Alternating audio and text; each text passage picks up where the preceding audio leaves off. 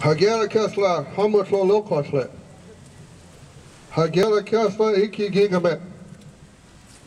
Hagela Kesla, Bakuila Inu. Lay nine Skilka Pukulitlet. Hagakins, Hokugelis. Nukwam, Iwanuti. Gaikan, Gaikan La, Guawainu. Glu Hegums. Guawasola. What I just said is, I thank you all for being here today. I thank our great chief above, our creator, and I thank our great spirit. And I'll introduce myself as, as Iwanukji. My traditional name is Iwanukji. And uh, I wanted to say thank you all, first of all, to uh, for the invitation. I'm honored to be here, standing before you, and to be on the traditional land of the Songhees, Esquamo, and Liguancan, if I pronounce that right. But everywhere I go, it's always important to uh, acknowledge the homelands of the people. Because before this was Victoria City, it was the traditional lands of all of the nations that are here.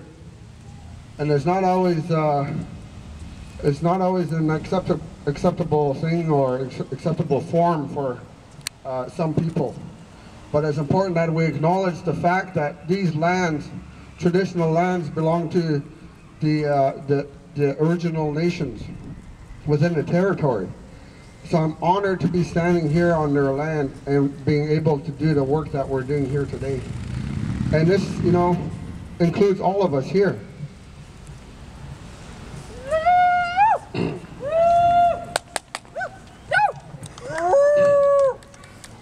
It's an honor for me to stand before you to be able to speak and try to do the work that I do, to, to carry the message.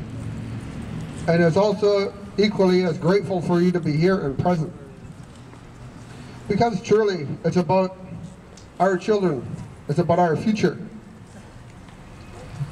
And how else can we uh, do it, uh, do work together rather than working alone? And I think it's come to that point now in our lives where we've uh, we've realized our commonalities and we're learning how to deal with our differences.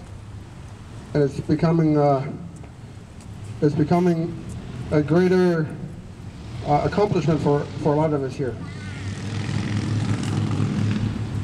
Where I come from is uh, called Hopetown.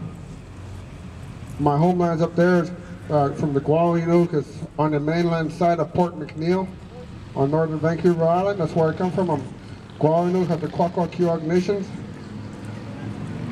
And I, I live in Nanaimo. But to let you know, I'm proud to be First Nations. I'm proud to be Gwawaenuk. I'm proud to be Kwakwaka'wakw. And I'm proud to be here with all of you today.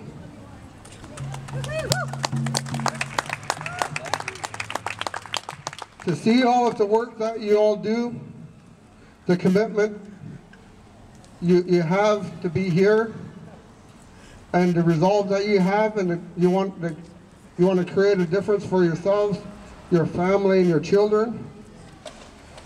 And it makes it warms my heart to see see all of you.